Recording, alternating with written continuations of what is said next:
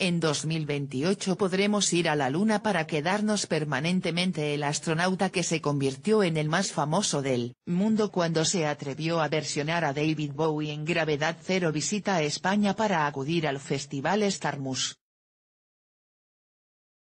El astronauta Chris Hadfield, Ontario, 1959, podía haber pasado a la historia por muchos motivos. Por ejemplo, por ser el primer canadiense en dirigir la estación espacial, IS. Sin embargo, lo que le catapultó es un decir, porque estaba en estado de ingravidez a la fama mundial fue una versión del Space Oddity de Bowie, grabada hace ahora tres años y que ha registrado desde entonces más de 32 millones de visitas en su canal de YouTube. Esta semana, Hatfield ha aterrizado en Tenerife para participar en el festival Starmus. ¿Cómo se siente haciendo que los niños quieran ser astronautas? Fundamentalmente, hay que preguntarse por qué hacemos las cosas. ¿Cuáles son tus motivaciones para algo? Algunas de ellas las haces por la emoción de hacerlas, porque eres curioso. Pero hay una parte que es la de marcar una diferencia, sentir que tu vida no ha servido solo para tu beneficio. Como astronauta, Básicamente te dedicas a perseguir cosas en las que estás interesado, y es, mucho trabajo. Pero al mismo tiempo, tus acciones sirven de inspiración para mucha gente. Cuando eres astronauta te conviertes en la cara de toda una industria. Cuando la gente piensa en NASA piensa en una persona, en un astronauta. Además del rostro de una industria, el del astronauta también representa la ambición y superación humanas. Sí, va más allá de la industria espacial, es todo lo que el ser humano puede conseguir como especie, como sociedad y como civilización. Sí, también es una situación privilegiada. La belleza de eso es que te da la oportunidad de conocer a millones de personas. He sido astronauta durante 21 años, he hablado a miles de alumnos en colegios, de primaria a posgrado. Es una gran combinación, hacer cosas importantes y cosas que inspiran a otros. He conocido a gente que ahora tiene 30 años, y han hecho lo que han hecho en su vida por la inspiración que les supuso conocerme.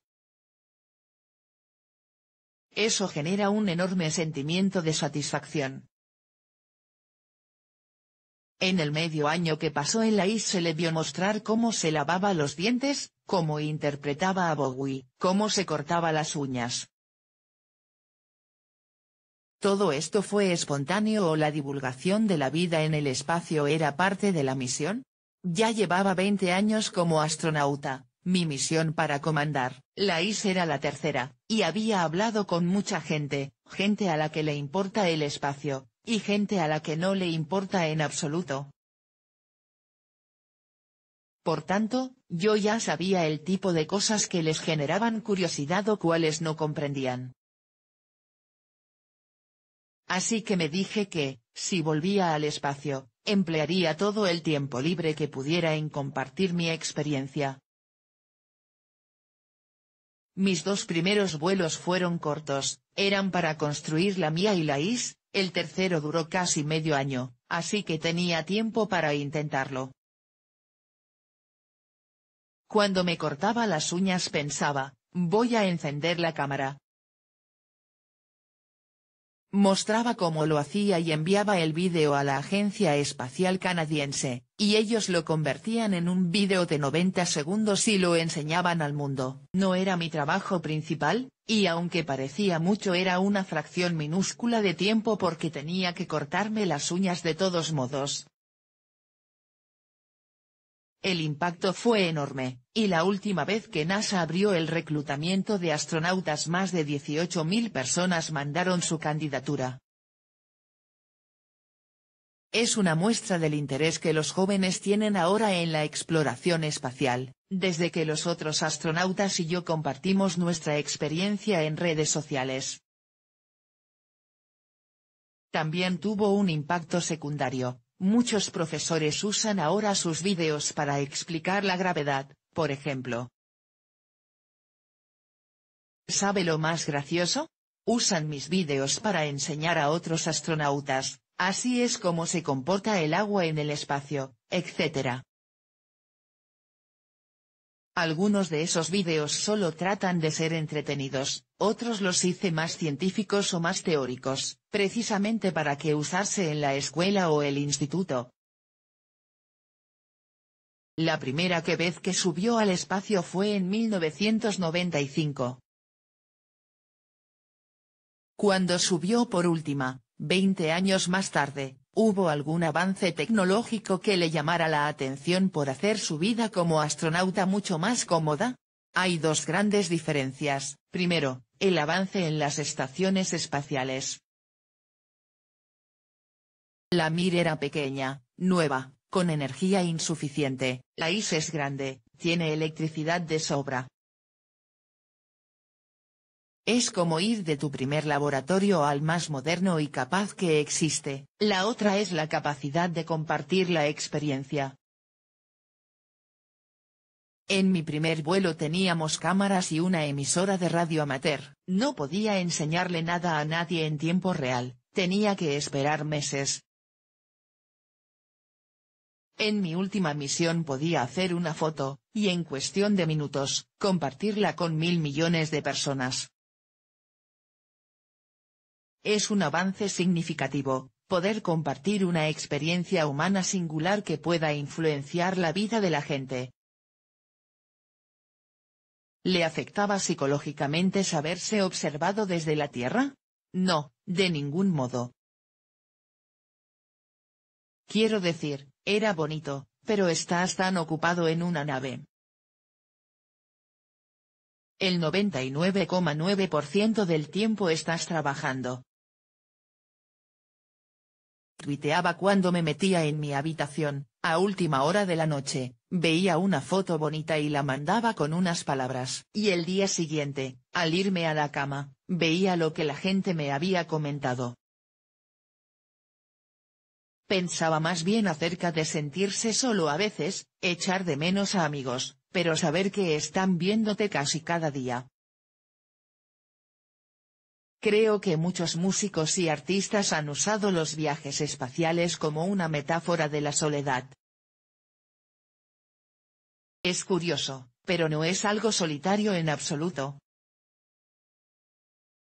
Estás ocupado, estás dando una vuelta al mundo cada 92 minutos, ves a todo el mundo que hay sobre la Tierra, a todo el mundo. La gente más solitaria que he conocido viven en mitad de las ciudades. Vas al centro de Madrid y está lleno de gente sola. Me crié en una granja y jamás he visto a un granjero solitario, la soledad no es proximidad a otra gente, la soledad es un estado mental. Viajando al espacio no te sientes solo, es inmensamente unificador, te sientes parte del mundo porque lo ves todo, cada día, y luego tienes a los compañeros de tripulación y puedes hablar con Houston. No es como la gente se imagina, es magnífico.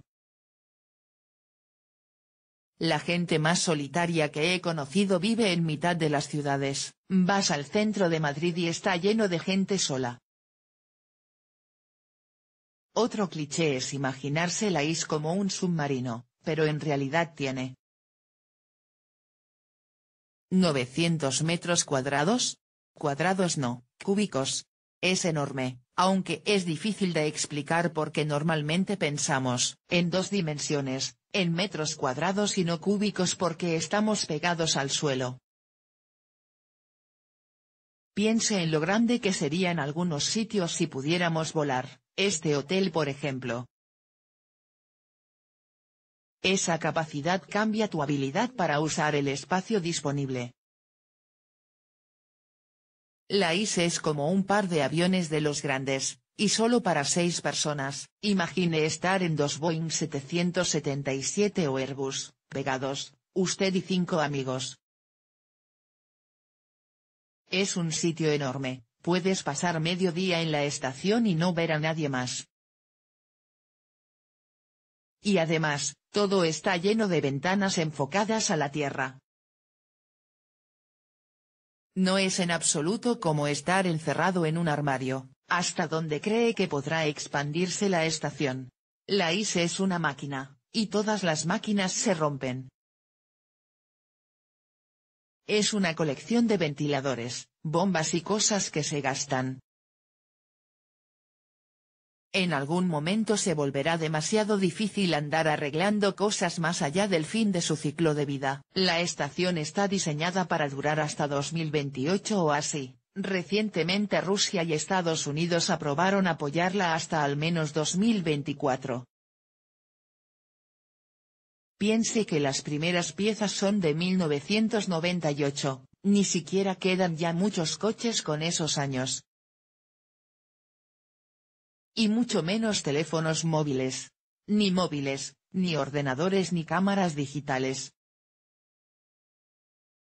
Se vuelve muy difícil seguir actualizando y manteniendo algo así, pero creo que un gran propósito de la ISE es probar, y desarrollar maquinaria o ideas que nos permitan ir más lejos.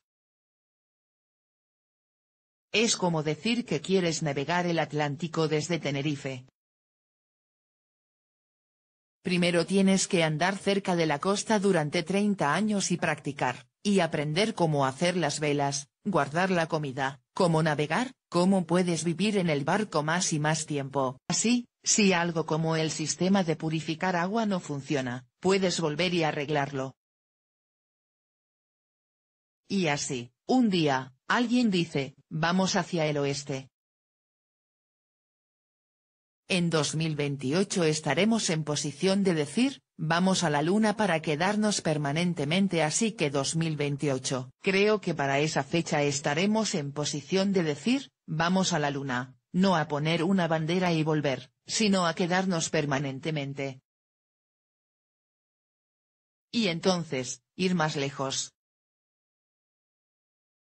¿Cuál es su opinión sobre los viajes espaciales comerciales? Los viajes comerciales llevan por ahí desde 1967. La sonda que aterrizó en la Luna fue construida con ánimo de lucro por una empresa llamada Grumman. El transbordador espacial fue construido con ánimo de lucro por Rockwell. La estación espacial estaba dirigida por Boeing. Todo es comercial. La gente piensa que ahora comercializando los vuelos espaciales y no, en absoluto, y en un vuelo no tripulado, una compañía privada puede comprar un lanzamiento a otra compañía privada, no necesita que el gobierno intervenga más allá del aspecto regulatorio. Para vuelos con humanos, es aún muy difícil que un ciudadano vaya y compre un vuelo espacial, pero nos estamos acercando. La comercialización existe desde hace tiempo, la privatización con humanos es aún muy nueva, pero, unos pocos individuos muy ricos pagó al gobierno ruso para volar en la Soyuz. El viaje en avión solía ser solo para ricos, el viaje en barco también y ahora es común, solo es cuestión de que la tecnología sea lo suficientemente segura como para ser barata, pero eso es en lo que están trabajando Richard Branson, Jeff Bezos o Elon Musk.